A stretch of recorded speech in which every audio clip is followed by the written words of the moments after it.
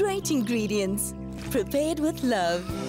A perfect combination, like you and Pick and Pay. Good morning and welcome to Kids Cooking Today. Today we are doing our show a little bit more differently with our guest. Mario, aka Mazza. Hey, Mario. Hey, thanks. doing, bro. eh? Not too bad, bro. It's so good to high five, man. It's good to have you High here. five. And I, I, like you guys, I'm very excited to have Mario. You're looking all colourful and fruitilicious and healthy. What are we doing today? Uh, well, we're basically going to be reducing this little puppy into a portion that you guys can get and cook. All right, so you're gonna actually show us how to make proper smoothies that are like in here, but at home. Yeah, pretty much. Okay, cool. So uh, you got a lot of fruit there. Tell us about what you got.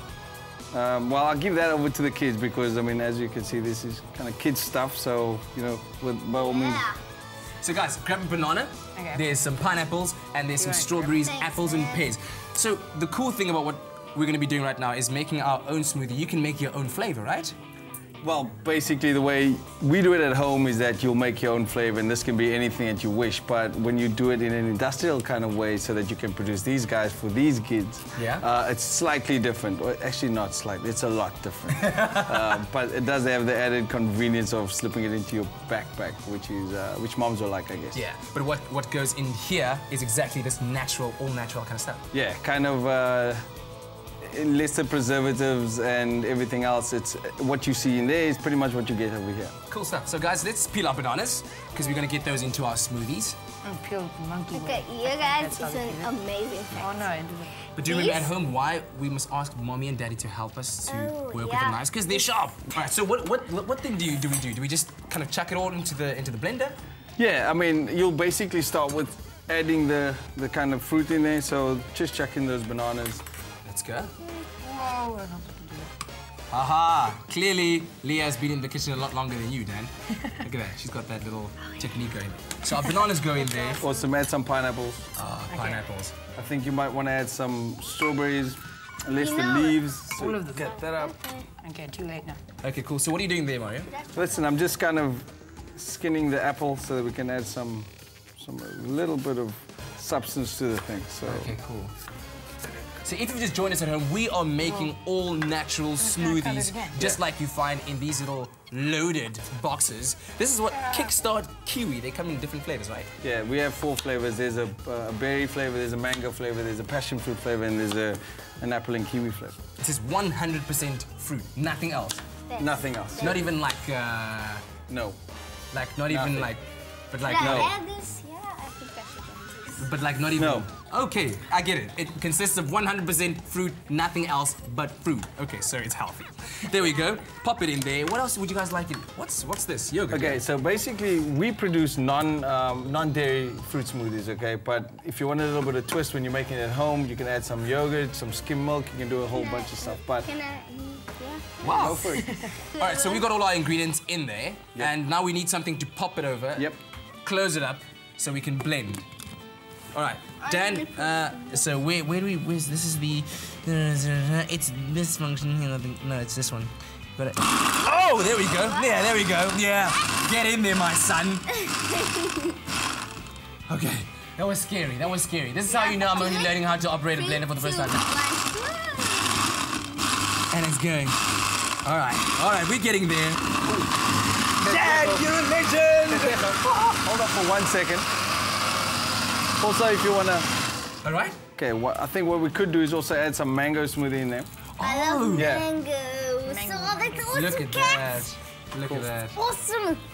With the capital A. All right, here we go. So we just added some mango smoothie into our. Yeah.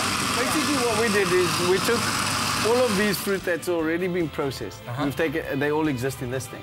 Okay. So we've kind of just for for our purposes here and for uh, if you want to make it at home, you skin all these things. It's all basically in there.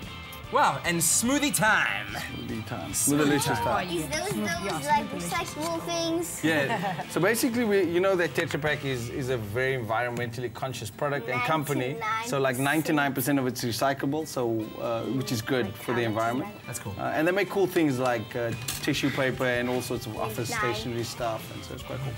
And uh, you were telling me earlier on that Pick and Pay actually helped you start the business. Yeah, I mean, uh, Tell me all about it. Okay. Well, Suzanne runs the foundation. She she heads up the transformation fund uh, at Pick and Pay. And when I was um, starting out, uh, they actually assisted me financially uh, to get this project off the go. But but more so, they also offered like tutorship and mentoring uh, because uh, it was an environment that I wasn't familiar with. I mean, uh, I'm like an analyst by profession. I, I just do this stuff for the sidekicks. you just I do it should for the go to side Pick gig. and Pay to start my Super. business. Pick and Pay, you are awesome. awesome. There we go. There we go. Let's say you know kids were to buy this, Yeah. which is uh, 100% fruit, like you say. Yep. They would be getting let's, their recommended daily allowance of, of fruit. Well, they would be getting one and a half of their five recommended uh, fruit portions a day. And so your five recommended fruit portions is your five portions of fruit and veg. Uh -huh. So one is equal to one and a half.